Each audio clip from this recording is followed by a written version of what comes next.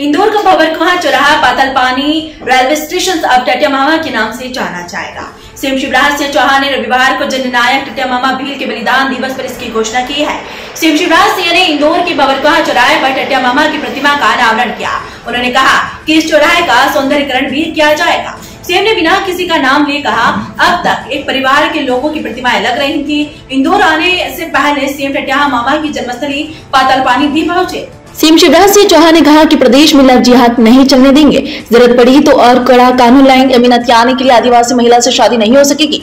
उन्होंने मंच से पैसा एक्ट के बारे में भी जानकारी दी। कहा कि वे इस एक्ट के मास्टर ट्रेनर है। सिम ने कहा, तुमको आज पैसा कानून समझाने आया हूँ। मैं इसका मास्टर ट्रेनर हूँ। पैसा कानून में आदिवासियों को कई हक अधिकार है। कांग्रेस भड़का है तो डरना मत। ये किसी के खिलाफ नहीं है।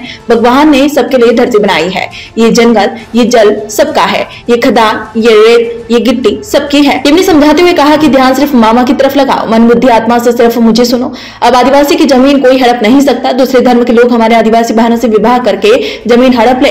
ऐसा मैं होने नहीं दूँगा। ये लव नहीं, ये जिहाद है। कोई हमारी बहनों से शादी करके पैंतीस टुकड़े कर दे, ये नहीं चलेगा कार्यक्रम का आयोजन नेहरू स्टेडियम में किया गया। यहाँ ने हितग्राहियों को सरकार योजना के तहत राशि का वितरण भी किया। सभी अतिथियों को तीर कमान देकर सम्मानित किया गया। सीएम ने यहाँ आदिवासियों को नया नारा दिया। कहा, धरती अंबर कह रहे, टंटिया मामा अमर रहे।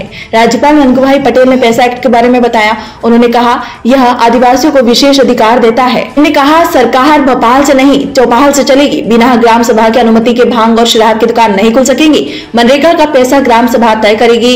ठेकेदार मज़बूत बाहर जाएँगे तो ग्राम सभा को बताना होगा। जो ठेकेदार जानकारी नहीं देगा, उसको जेल होगी। गाँव में छोटी छोटी लड़ाई विवाद के मामले थाने नहीं जाएँगे, समिति को अधिकार देंगे। पैसा की जानकारी देने के लिए टीम को भेजेंगे। मध्य प्रदेश में अगले पाँच साल में पलायन बंद करेंगे। मजदूरी के लिए मजबूरी में बाहर नहीं जाए। और मैं किसी भी कीमत पर मध्य प्रदेश की धरती पर लव जिहाद का खेल चलने नहीं दूँगा।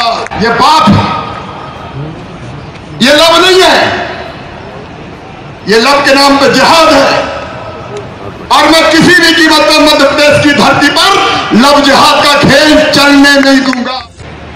शादी के अंदर पैंतीस टुकड़ा कर दे। क्या हम सहन करेंगे बताओ?